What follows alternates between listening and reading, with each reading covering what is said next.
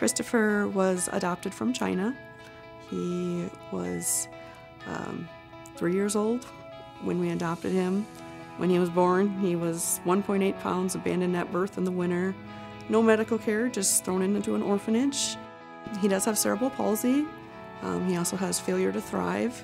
So he has a feeding tube that we have to use to keep enough calories on board.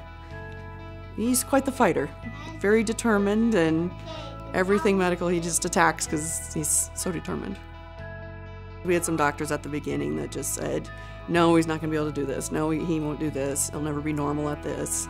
And he's just broken through every single barrier and proved everybody wrong over and over again. Our physical therapist at Blank's Hospital, she seen the bike worked really well for Christopher in therapy.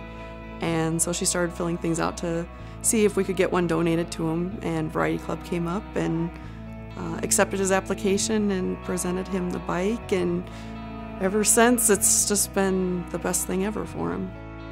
The independence that he has gained from this bike um, has been just incredible.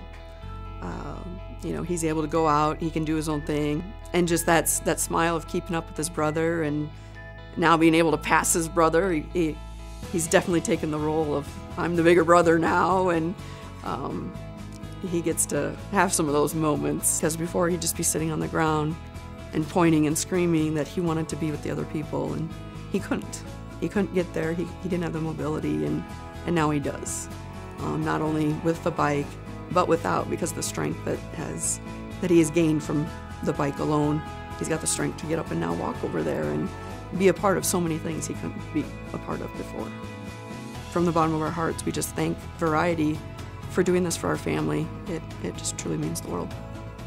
Are you going to ride your bike when you get home? Yeah!